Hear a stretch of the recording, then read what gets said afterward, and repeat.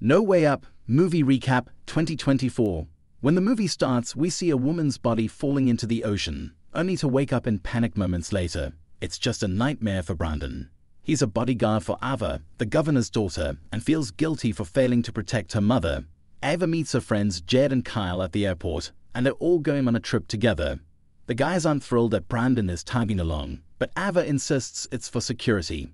Every situation has the potential for violence. Here, it's virtually zero.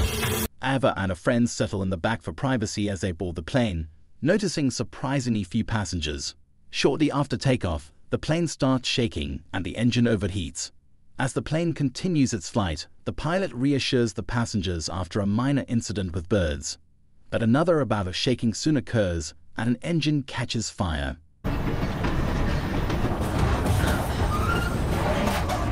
The pilot urges everyone to buckle up as fear spreads among the passengers. Suddenly, a piece of the engine breaks off, striking the side of the plane and fatally injuring a passenger. The impact creates a rupture in the fuselage, causing a rapid change in pressure inside the cabin. Bags and belongings go flying, hitting passengers, while those who didn't fasten their seatbelts are thrown around uncontrollably.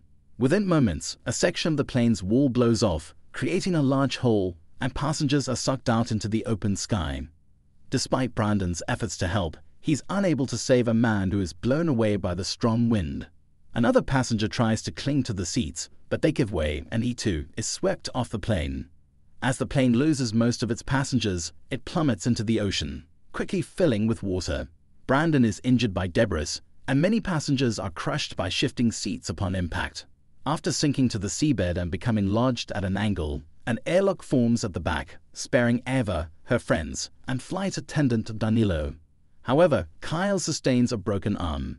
Amidst the chaos, Brandon emerges with Rosa and her unconscious grandmother, Marty, who Danilo revives with chest compressions.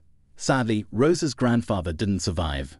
Brandon takes charge, calming the group and emphasizing the importance of remaining patient until rescuers arrive. Despite Ava's suggestion to swim through a hole in the plane, Brandon advises against it due to the low chances of survival. Danilo reassures them that help should be on the way, and Brandon stresses the need for backup oxygen as a precaution. Danilo informs the group that the emergency oxygen tanks in the back are empty. Remembering a passenger had a medical oxygen tank, Marty asks Brandon to retrieve it along with her husband's hat. Brandon volunteers and dives into the water, searching through the plane's corridor and finding the items requested. As he explores further, he encounters a shark swimming through the hole in the aircraft. The shark attacks Brandon, causing him to fight back fiercely. Concerned by the disturbance in the water, the group anxiously watches as Brandon resurfaces, warning them to stay back and revealing his severe wounds inflicted by the shark. Brandon, still catching his breath, hands over the oxygen tank and hat before apologizing to Ava. Suddenly, he's pulled back into the water, and the group witnesses the shark devouring him. Horrified, they retreat to the employees' area, agreeing to follow Brandon's advice to wait. Marty steps in to tend to Kyle's injured arm, drawing from her experience as a wartime nurse.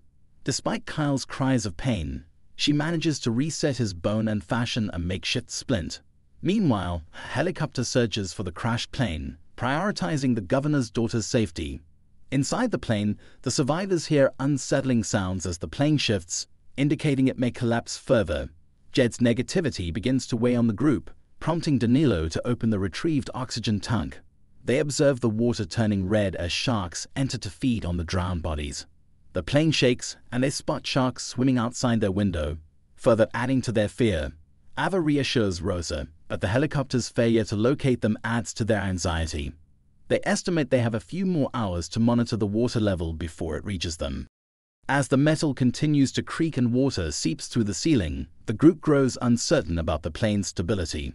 Suddenly, the plane lurches downward, sliding for several minutes before stopping again. Although everyone holds on and avoids injury, the new angle causes water to rise inside the plane more rapidly. Recognizing the precarious situation, they decide they must swim out. Rosa suggests using bubbles to distract the sharks, recalling something she learned in school. Kaya remembers that some passengers had scuba equipment, which could help them breathe underwater. Danilo explains that the equipment is in the baggage hold, accessible through a hatch, though the oxygen tanks may be empty. Seeing the potential usefulness of the scuba gear, Ava encourages the plan, but Jed's negativity dampens their spirits. Ava retreats to the bathroom for a moment of privacy to ease her fears, where she confronts her emotions. Returning, she reassures Rosa that it's normal to feel afraid. Meanwhile, with only 15 minutes of fuel remaining, the helicopter finally spots plane debris floating on the water's surface. Divers jump into the water and quickly locate the plane, prompting the survivors to signal for help from inside. Help! Over here! Help! Come on! One diver swims towards the hole while the other approaches the window to reassure the survivors. Suddenly, a shark appears behind the diver at the window, unnoticed by him. The survivors warn him, but he turns around and finds nothing. However, when he looks back at the plane, he's attacked and killed by the shark, leaving the survivors horrified. They hear noises above the plane and see the diver's leg floating away, indicating his demise. Concerned for the other diver, they check the corridor, but he doesn't appear, leading them to assume he's also dead. Meanwhile, the helicopter, low on fuel, prepares to leave but ensures help is on the way. Outside, Ava suggests taking the other diver's oxygen tank if he's dead. As she peers underwater, she spots a shadow but can't confirm if it's the diver. Jed tries to investigate by standing on the seats but slips and falls into the water. Although he surfaces laughing from his prank, the laughter quickly turns to terror as the shark closes in on him, causing panic among the survivors. As Jed fights off the shark, the group rushes to pull him to safety, but they realize he's lost a leg in the attack. Marnie treats Jed's wound while Rosa stands behind the curtain. Using seatbelts as makeshift tourniquets, Marty stops the bleeding, but Jed mourns the loss of his ability to participate in triathlons. Determined to find a way out, Ava volunteers to search for the scuba gear. Despite the baggage hold being flooded, Ava dives in with a flare to search for the equipment, unaware of an octopus nearby. When the flare goes out, the others worry, but Ava returns with the gear just in time.